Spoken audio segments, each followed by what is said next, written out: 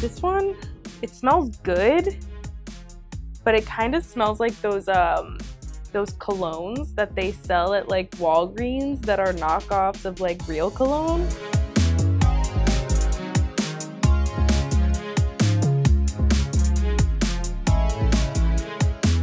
This one smells like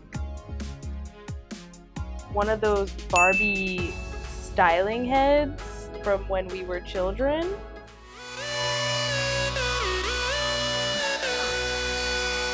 Five minutes? That's not real. That's not enough.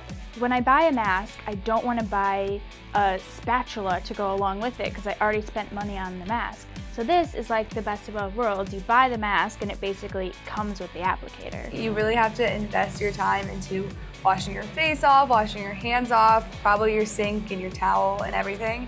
So having a stick and kind of eliminating that messy aspect would be awesome. Opening this and applying it directly to my face just feels a little gross, like bacteria is just gonna be transferred back and forth. I'm not a scientist, what do I know? This is kind of really soothing to me. It feels so nice gliding onto my skin. I feel like when you press a little harder, you get some big globs.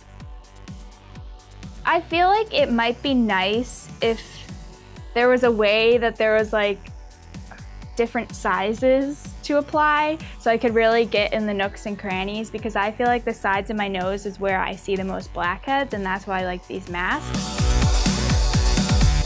I think I used a little bit more than you're supposed to, but you know, that's all right. Maybe I'll just have very clear skin after this.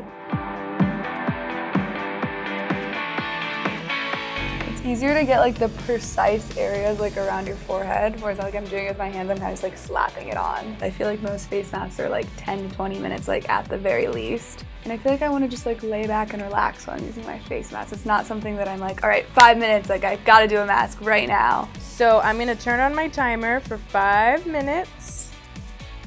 Boop. So the timer is officially done, which means I can now remove my snap mask.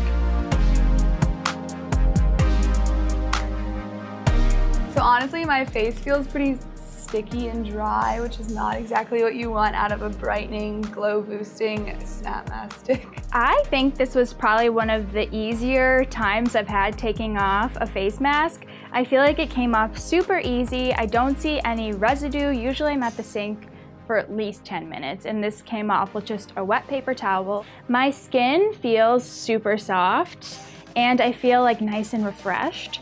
So I think it did a pretty good job. My skin feels really nice and soft after using the snap mask, but with face masks, you'll never know how well they work until you use it for a long time.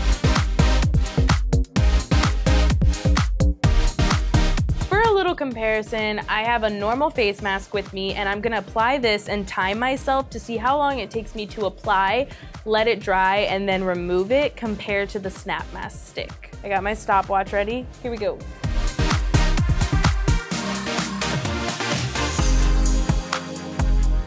We're about to hit the five minute mark.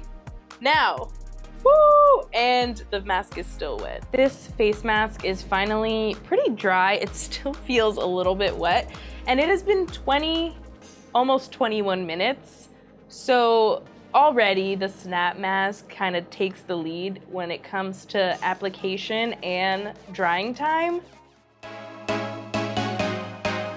It was virtually mess-free the entire time from application to removal. I think that this would be a great mask for on the go or traveling. You could just throw it right in your purse or in your suitcase.